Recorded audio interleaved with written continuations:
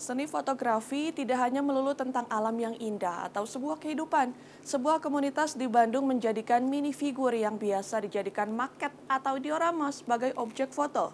Setiap minifigur akan menghasilkan foto yang bercerita sesuai imajinasi dan kreativitas para fotografer.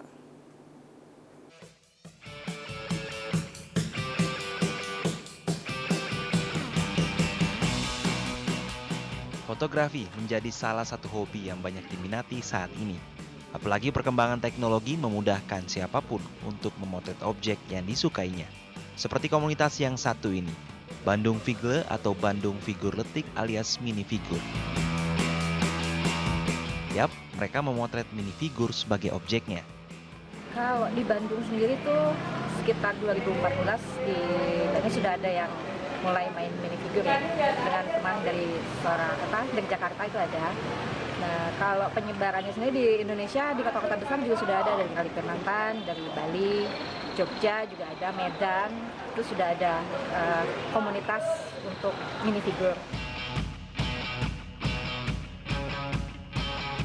Setiap minifigur akan menghasilkan foto yang bercerita sesuai imajinasi dan kreativitas para fotografer seperti cangkang kacang yang dijadikan sebagai hamok atau terminal listrik yang dimanfaatkan sebagai media untuk menyimpan objek minifigur atau truk pengeruk salju yang diawasi oleh mandor, saljunya menggunakan tisu kering.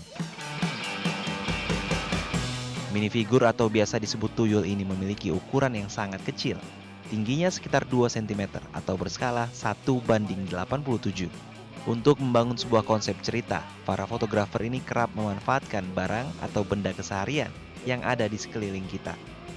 Kalau fotografi mungkin udah lama, cuma masalahnya karena waktu ya.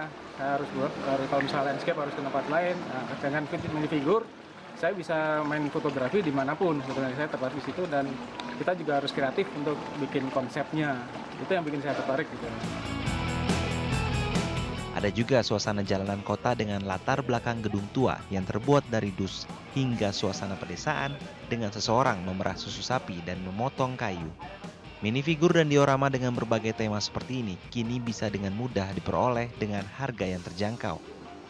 Eh, sebenarnya selain hobi juga kita bisa mendapatkan peluang, peluang usaha, peluang usaha dari kayak menjual misalnya bikin rumah-rumahannya, terus kayak diorama gitu kan sebenarnya juga itu bisa apa ya lebih banyak orang minat gitu.